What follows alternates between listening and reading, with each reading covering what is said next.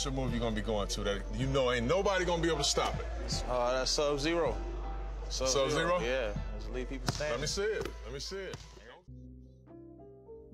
The beautiful yet devastating Hesi has been a part of Dennis Smith's arsenal since high school. And yet, the more people that know about the move, the number of people who can actually stop it has never increased. Dennis uses this move to completely freeze and blow by his defenders. And in this breakdown, we'll be discussing this lethal move that leaves defenders stuck in one spot.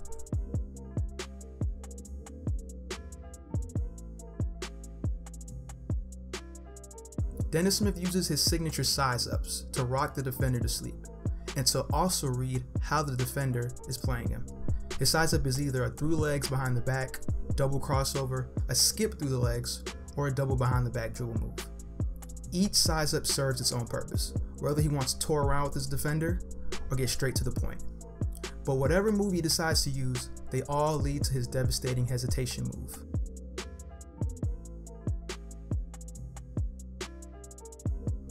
Once he hits you with the size up move, that's when it's time to leave you in the dust. Dennis puts the ball in his left hand and freezes it just for a second, and while doing so, he gets his legs in a low stance so when he puts the ball down, he can explode with his back right leg. The way Dennis freezes the ball can sometimes be a carry, I'm not gonna lie, but he does the move so quick it's hard for a referee to even notice. By the time Dennis is right about to execute his move, the defender barely has enough time to anticipate a shot or the drive.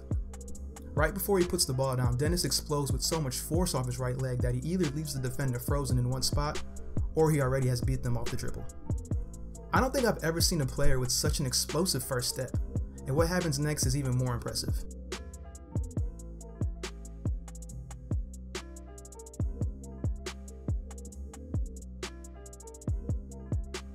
Once he blows by you with the hesi, Dennis only needs one or max two dribbles to explode at the rim with a posterizing dunk or an athletic finish.